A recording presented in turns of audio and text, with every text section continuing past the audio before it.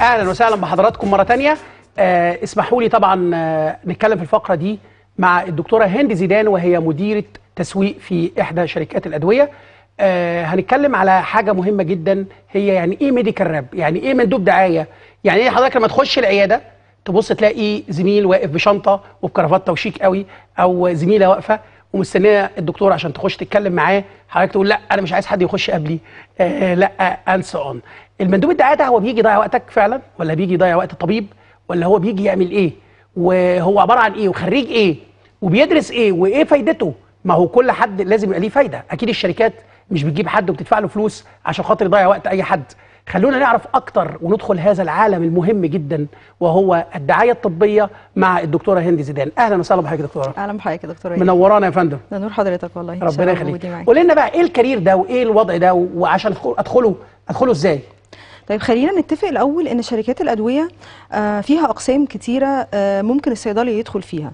فقبل الأول ما نتكلم على فكرة ال medical rep إحنا عندنا مثلا قسم research and development وده اللي هو اللي هو الأبحاث؟ بالظبط اللي بيخترعوا الأدوية الناس اللي بيطلعوا لنا كل فترة molecules أو أدوية جديدة تعالج الأمراض اللي ما كانش ليها علاج أو تحسن على الحاجات اللي موجودة. كويس. آه، في حاجة تانية مثلا زي قسم ال quality control وده اللي بيبقى مسؤول عن إنه آه، يحافظ على أو يتأكد إن الدواء اللي موجود في ال market من ده جودة الأدوية اللي موجودة في السوق. بالظبط وإنه ان هو مطابق للمواصفات وكل حاجة. تمام. وفي طبعا آه، قسم مهم جدا وهو قسم ال sales and marketing أو قسم البيع والتسويق يبقى إحنا عندنا حاجة اسمها اللي بيسموها ده هو تخصص مهم جدا في الصيدلة طبعا. اسمه industrial pharmacy.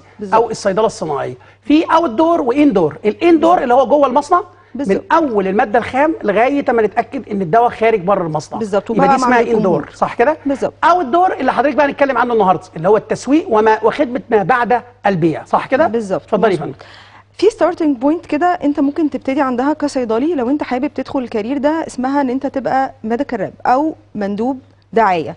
طبعا الناس بتسمع كلمة medical rep إيه ده انت صيدلي هتروح تشتغل مندوب مبيعات طبعا. مع احترامنا لمندوب المبيعات شغلانة محترمة جدا بس انت دورك ك medical rep مش مندوب مبيعات خالص. مش دورك ان انت تمشي تلف تبيع الدواء انت دورك أكبر من كده بكتير وأحسن من كده بكتير انت دورك ان انت تعرف الدكتور وتعرف كل الناس مش بس الدكتور يعني انت حلقة الوصل ما بين الشركة وما بين كل ال healthcare system أو كل المنظومة الصحية يعني خلينا برضو تسمحي لي في الحتة دي طبعا مندوبين البيع فوق دماغنا هم طبعا مسؤولين أكتر عن حتة البيع وحتة الفلوس التوزيع وهم بالظبط. تخصص مهم جدا جدا. موجود عندنا بس هو بيتكلم على حتة ال- الفلوس صح كده والحسابات بالظبط. الحتة بتاعت مندوب الدعاية أكتر محتاجة واحد متخصص medical متخصص طبيا بالظبط. فالحتة دي بيبين فيها إيه هو الدواء؟ إيه هو تركيبه؟ إيه هو آه، للطبيب المعالج؟ صح كده؟ بالظبط. أنت. مصدر المعلومات سواء للطبيب سواء آه لصيدلي زيك. آه طبعا regarding أو لحد ال product بتاعك أو الدواء اللي أنت عارفه أو بتتكلم عليه.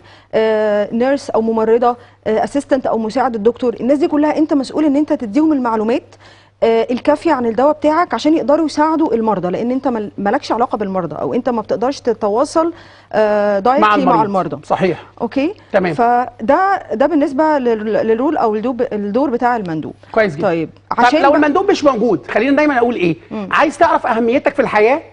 إكس أنت مش موجود. مم. لو المهنة دي مش موجودة مم.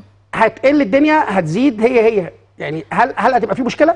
طبعا. يعني آه، مبدئيا كل الناس اللي انت بتتعامل معاهم اللي إحنا اتكلمنا عليهم دول مش هيبقوا عندهم المعلومات الكافية عن عن أي حاجة تنزل السوق جديدة أو حتى قديمة. ما هو. القديم ده بيحصل عليه تعديل أو بيحصل عليه update كل فترة. تمام. بيتشال من السوق أو بيتعمل منه حاجة جديدة أو بيتعمل منه بينزل منه شكل جديد. كويس جدا. كل المعلومات اللي ليها علاقة بالدواء بتاعك ده محدش هتوصل للناس إزاي؟ حتى في وجود ال social media والحاجات اللي معروفه دلوقتي إحنا مش مسموح لنا إن إحنا ننزل بكل المعلومات على الأونلاين أو على الإنترنت والناس مش هتفهمها. صحيح. فلازم آه، الناس انت مش لازم تفهم كل ده مش مش تخصص. طبعا. هو تخصص الطبيب أو الصيدلي أو في القطاع الطبي زي ما حضرتك قلتي ممرض أو ممرضه هم اللي يعرفوا المعلومات لكن الناس ك... بشكل عام تعرف معلومة اللي تفيدها. غير كده ما... ما... يعني ما. لهاش داعي. وكمان ال- الدكتور أو ال physician مهم قوي إن هو هياخد وقت طويل قوي لو المندوب مش موجود انه يقعد يدور ويلف ويشوف كل شركة بتعمل إيه جديد وبتنزل إيه جديد ويفضل يدور هو بنفسه.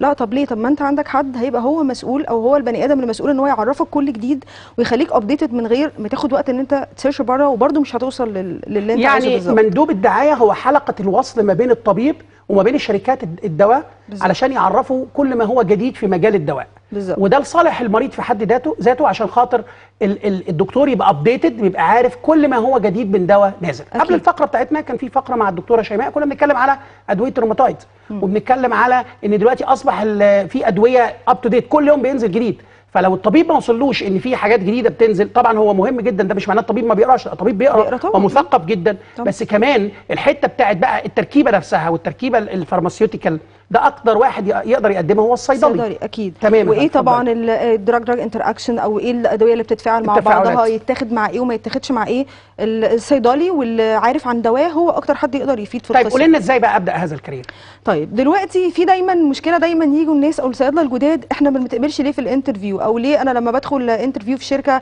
كبيرة آه سواء local أو multinational ليه ما بتقبلش طيب إحنا خلينا نقول إن إحنا شغ- شغلانة بتاعة ال sales and marketing دي فيها شوية talent.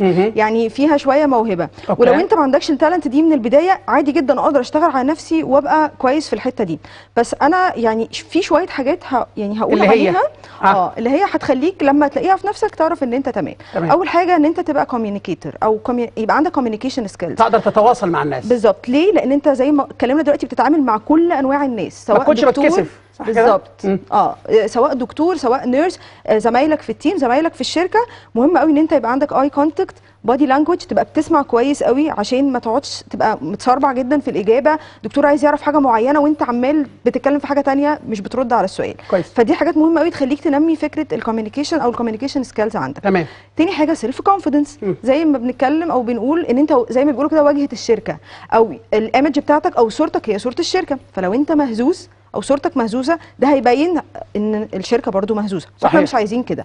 الحتة دي مهمة قوي عشان أقوي نفسي فيها إن أنا طول الوقت يبقى عندي knowledge دايما. كده كانوا بيقولوا لنا knowledge is power أو المعرفة قوة المعرفة يعني قوة. كل ما كنت عارف أكتر عن الحاجة اللي أنا بقولها كل ما هبقى واثق في نفسي. بتكلم بقوة جدا وبالتالي ده هي reflect إن أنا بقول معلومات صح تمام. فالناس هتقتنع باللي بقوله.